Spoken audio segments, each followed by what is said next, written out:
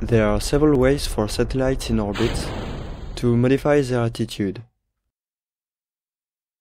Due to the lack of meaningful atmosphere, they can't use aerodynamic control surfaces, but they may use reaction wheels, gas thrusters, or magnetorquers for instance. Magnetorquers use an existing magnetic field, like the Earth's one, to affect their orientation with coils. When designing a CubeSat that uses them, we may need to perform tests here on Earth. Helmholtz coils allow us to do just that. Helmholtz coils are pairs of coils in this configuration.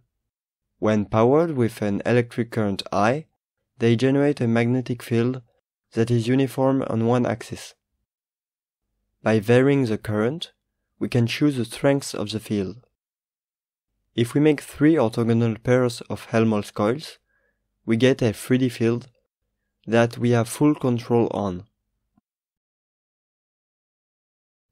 For our purpose, we needed a 40 cm cube of constant field, controlled by a digital interface.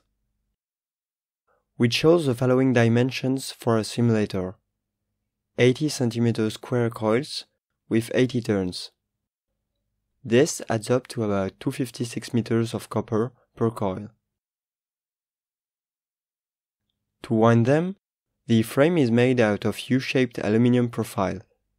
The outside width of the profile is 7.5 mm. The wire used for the windings is 0.5 mm diameter copper magnet wire. A jig was made to coil the wire, which still took days. The electronics box houses the circuit that controls the current that goes through the six coils, and therefore the magnitude and direction of the magnetic field. We made some custom drivers for high current and voltage, but standard H bridges might do fine here. The boards were created in KiCad, and the whole circuit is designed to be serviceable. Our system was designed to be assembled and disassembled in 5 minutes with 3D printed clips to avoid taking 1 cubic meters of space when not in use. Lab power supplies are used to power it. Simple serial instructions from a computer tells the interface box what to do. In this first clip, a magnet on water is used to show a constant field while the Earth one is cancelled.